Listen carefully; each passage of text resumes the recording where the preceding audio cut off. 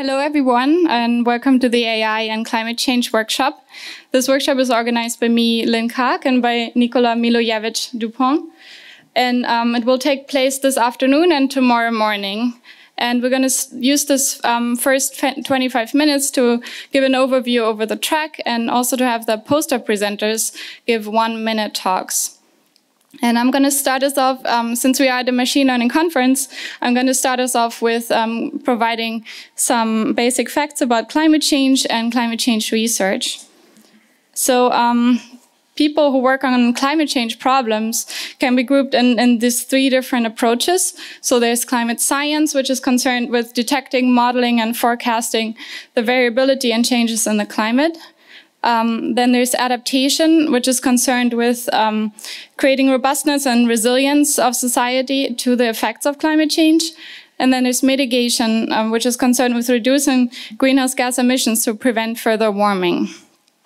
But what do we actually know about climate change? And um, a good place to look at um, the facts around climate change is the, are the reports by the International Panel on Climate Change, the IPCC. And I'm going to um, walk us through a plot of one of their more recent reports um, to introduce three key facts about climate change. Um, this is the plot. Um, I'm going to disentangle it a little bit. So um, the first point is the climate is already warming, and this is due to human activities and in particular CO2 emissions. And um, this plot shows um, the temperature increase with respect to pre-industrial levels. So zero on the y-axis here is um, the temperature, the mean global temperature before we started burning fossil fuels. And um, you can see that by now, actually, um, the climate has warmed by about one degree. And if the, if the trend continues, um, we will see a lot more warming pretty soon. Um, the next point is that um, CO2 emissions need to be reduced to avert further warming. And this plot here shows the global CO2 emissions since 1970. And um, it also shows two decarbonization scenarios um, to reach to um, have global net zero carbon emissions. And And these scenarios correspond to a warming that's around 1.5 degrees. So um, this one corresponds to this trajectory, and um, the gray one corresponds to this tra trajectory. So from this, we can also see the faster we um, reduce the greenhouse gas emissions, the more likely it is we're going to stay within 1.5 degrees warming. And this is necessary um, to have less likelihood of catastrophic changes in the climate. And um, then there's one further point here that um, we not only need to reduce greenhouse gas emissions, uh, not only need to reduce CO2 emissions, but also other greenhouse gases, for example, methane. Um, so let's look at where um, CO2 emissions come from. So this plot here shows the global CO2 emissions um, since 1850. And um, the light part shows the emissions from land use, and the dark part is the, are the emissions from fossil fuel use and industry. And we see that um, they've been increasing quite a bit. Um, and I have another plot here that shows where in the economy those emissions come from globally. And um, the red part here corresponds to electricity generation.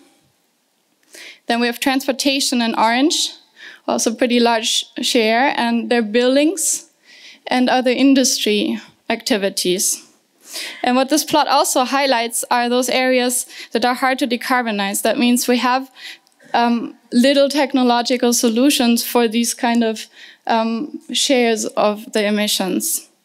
And so machine learning has been driving a lot of industries. So you may ask, um, how can machine learning help to improve um, those decarbonization strategies to reduce emissions. And Nikola and I are part of a team of researchers that has um, written an overview over how machine learning comes in um, for climate change mitigation and adaptation. And we've published this last year in um, June.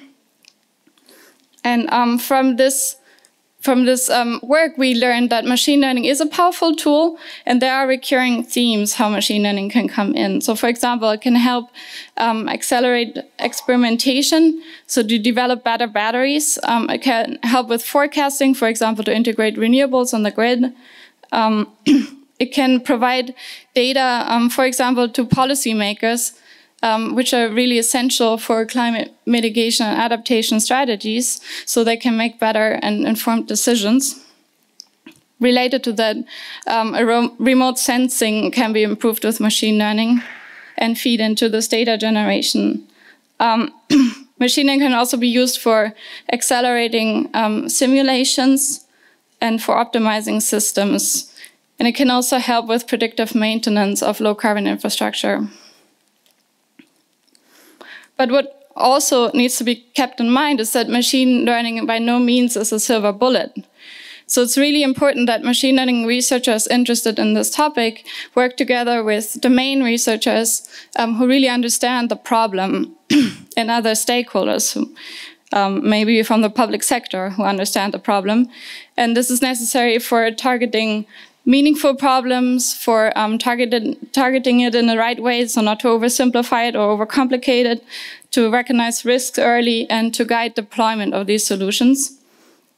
So we developed this roadmap for machine learning researchers interested in the topic, um, which is essentially um, starts off with learn and identify where your skills are most useful, then find collaborators and listen to those, and um, in the end, ensure that your solution is deployed and deployable, because then it will have an impact on the climate. And um, we realized that we are in a unique position to connect domain researchers with machine learning researchers. Um, so a number of our section authors and additional people um, got together to found this um, organization called Climate Change AI, um, which um, where we have the mission to um, facilitate this type of work at the intersection of machine learning and climate change domains. and you can find us on this website, climatechange.ai. And um, what we've been doing is organize physical meetups, such as this one. And we went at, um, at ICML and NeurIPS and also COP25. And we also provide resources on the website. And um, what we have also done is um, launch a forum for um, people to connect online and find collaborators. So you can sign up for this on our website as well. And um, we will have another upcoming workshop in April at ICLR, which will take place in Ethiopia. So if you're interested in submitting your work, um, this, the call for papers is still open. Um, it's due very soon on February 4th. You can find the submission link on our website as well. So um, with this, I will pass over to Nikola to introduce today's schedule. Hi, good uh, afternoon, everyone. um, so let's now dive uh, into the program of this track on AI and climate change. Um, so the track will take place um, this afternoon and tomorrow morning, um, and we will have four sessions um, that aim to cover different uh, areas that are important to tackle climate change. Um, and there will also be a joint poster session with the other uh, tracks um, the, this evening. Uh, and so we will have 20 minute and 8 minute long talks, and a panel discussion will uh, close the track tomorrow. And so now we'll go uh, through uh, quickly through which uh, each session one by one. So uh, right after this introduction, um, the, um, we will talk about machine learning in climate science and relatively in adaptation st studies. Um, so this uh, session will showcase uh, studies that you uh, use climate data such as temperature or precipitation data, or also data on natural and human systems that are influenced by climate.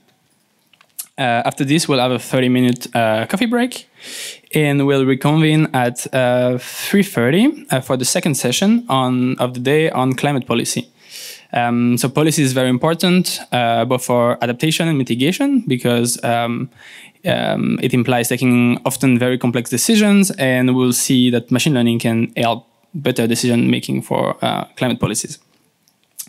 And uh, next, um, we'll have so the poster session uh, from five uh, for two hours in the lobby uh, just outside. And um, so our posters are all the way uh, next to the window, and uh, there will be light food and drinks served. So that's all for today. Tomorrow we start again at nine um, uh, for the session on climate change mitigation, so which is really how to reduce greenhouse gases emissions in order to prevent climate change to worsen. Um, and so we'll have a series of talks that will show the value of machine learning to in generating precise data that can help us understand where emissions come from and uh, what can we do to reduce them.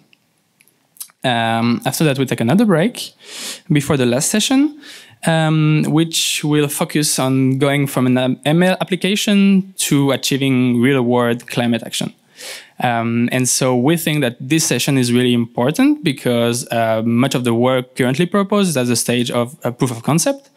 And for this solution to have an impact, uh, they need to be deployed, deployed at scale. So, so in this session, we'll talk about the importance of co-creating solutions by partnering with stakeholders that know very well the problems. And we'll discuss the role of governance in shaping a full life cycle of uh, ML solutions. And um, we'll have a panel discussions um, to close the track and to get the thoughts of some of our invited speakers on how to achieve uh, effective climate action with machine learning. Um, and so now we'll have uh, some of the poster presenters that will come to uh, quickly introduce uh, the, the, posters. Uh, and the first one is Victor Christophe.